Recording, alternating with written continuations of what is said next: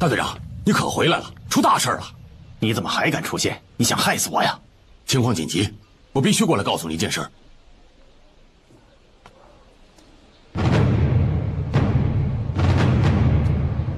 去县城领给养的兄弟也是刚回来，但于正队长没回来，他们说被崔大馒头请去喝酒去了。你究竟是什么人？你怎么知道王善人去东汾县城告密？大队长，这件事情等于中队长回来，我再跟你解释。你是八路？对，是赵传奇安排在我身边的眼线。对，来人，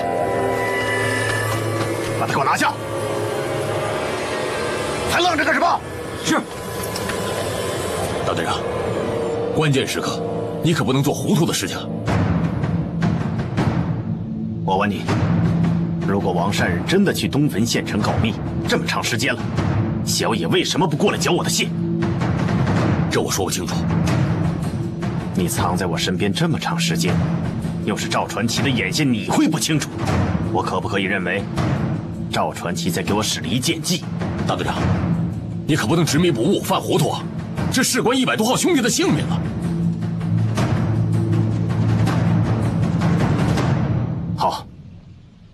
我马上去找崔大馒头要人。你们两个听着。如果我晚上还没有回来，按他说的办。大队长，你不能去，我必须去。于小六是我的兄弟，我们死也要死在一起。大队长，你看这里的地形对我们还是比较有利的。报告，政委，现在队传来消息，南门县城的所有鬼子都已经出动了，直扑杏花坡。所有鬼子出动，走不动，现在也就一百多号人。政委，情况很危急啊！南坟守备队的鬼子直扑杏花坡，就说明小野对走不动下手了。这样，三营长有命令七连向杏花坡右翼运动，你带着八连去增援县大队和区小队，我带着兄弟去杏花坡。政委，还是我去杏花坡吧。别啰嗦，执行命令。一定能进。李队长，不好了，大岛来了！大岛带了多少鬼子？一百多个。离我们还有多远？马上就到了。告诉弟兄们，做好战斗准备。是。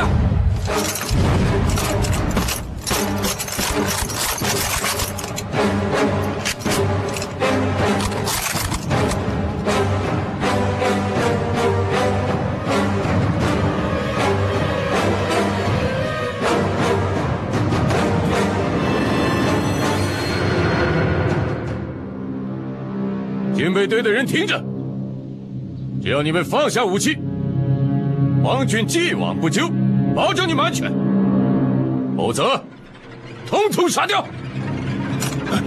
别着急，能拖一分是一分。八路军的独立团会来救我们的。大头，你听着，我们弟兄问凭什么信你啊？我们放下武器，你们开枪怎么办？我以天皇的名义起誓，只要你们放下武器，我保你们平安无事。好，你等等啊，我和兄弟们再商量商量。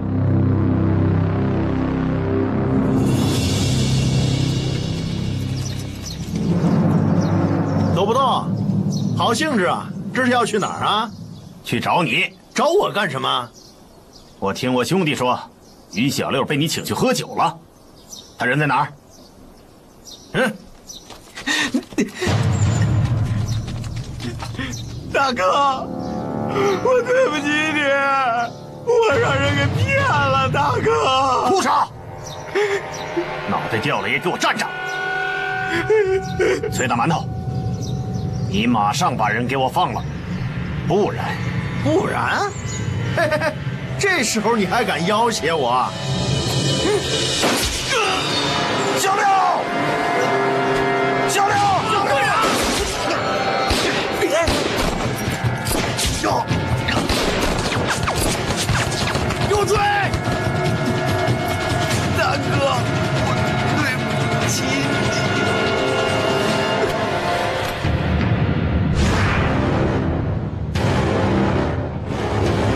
好了没有？再等五分钟。这样不行啊！他们人太多，万一冲进来，我们全完蛋了。你等着，我带几个兄弟跟大岛谈谈，争取拖延点时间。不行，这样太危险了。放心吧，没问题。走，大岛君，别开枪啊！我们出来商量商量。大岛君，别开枪，我们商量商量。小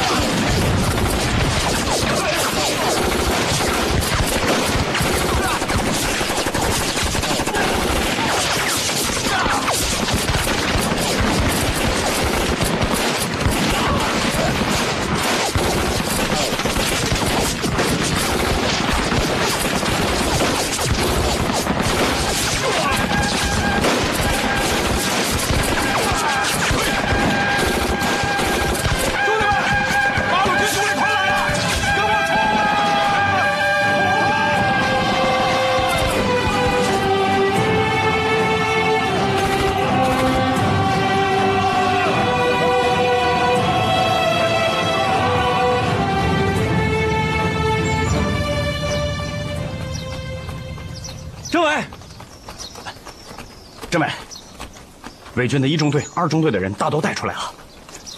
锅盖里带着其他伪军弟兄也已经摆脱了鬼子，随后就会跟上队伍。但是三中队的驻地离杏花坡太远，一时还没有消息。李干事他们会想办法联络三中队。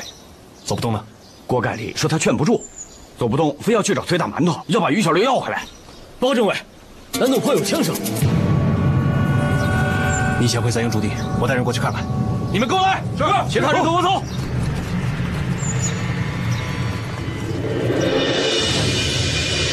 走不动，你受伤了吧？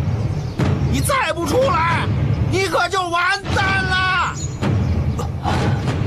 走不动，你已经被包围了，快放下武器！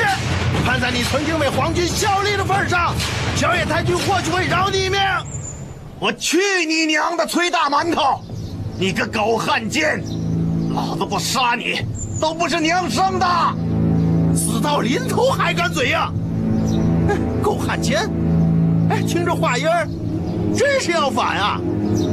弟兄们，活捉走不动，赏一千块；打死走不动，五百块。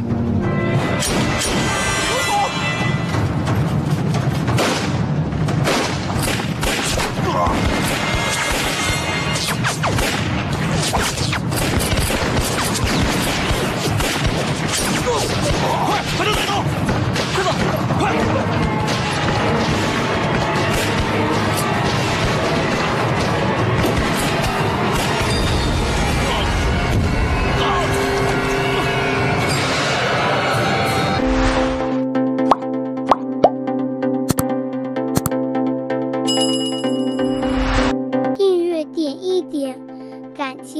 长